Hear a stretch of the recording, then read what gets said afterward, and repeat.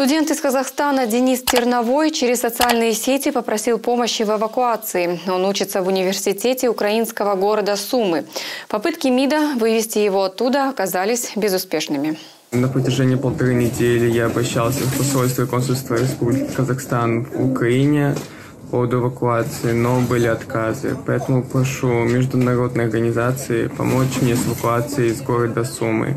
Денису 19 лет, он учится на втором курсе Сумского государственного университета. На английском языке изучает медицину. По словам Дениса, ему предлагали самостоятельно добраться до Львова, откуда казахстанцев вывозят автобусами. Но тысячу километров он преодолеть не смог. Мама Дениса обратилась за помощью к президенту Казахстана. Она настолько подавлена и плохо себя чувствует, что не смогла дать интервью. Когда бывает, когда он недоступен, у нас начинается истерика, уже паника какая-то.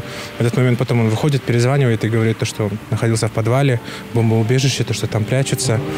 Только единственное, они выходят, иногда поднимается наверх в общежитие. Денис, даже находясь там, в такой критичной ситуации, он ходит у вахтерс, просит дрожжи и печет студентам из других стран хлеб, и этот хлеб носит в подвал. Ну, это ужасно на самом деле. Посол Казахстана в Украине Дархан Калитаев ответил, что Терновой единственный студент в Сумах. Казахстанцев, которые учились в Киеве, уже вывезли на территорию Польши, и они ждут рейса из Астаны. Студентов из Харькова поездом тоже доставили во Львов. Дениса пытались вывести в Харьков автобусом и с дальнобойщиками, но от обоих вариантов пришлось отказаться из-за обстрелов. Направлять сюда как предлагает его мама дипломата, это дипломатическую машину, не имеет смысла. Во-первых, потому что сейчас никто не смотрит на эти дипломатические машины.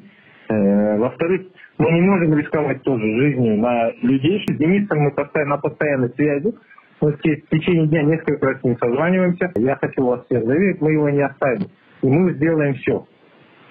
Но рисковать э, жизнью других людей я не могу. Ночи студенты проводят в подвале. Вчера вечером Дениса Тернового приютил местный бизнесмен у себя в доме и даже затопил для него баню. Тот же бизнесмен готов забрать женщину с ребенком из Тимиртау, которая также находится в Сумах.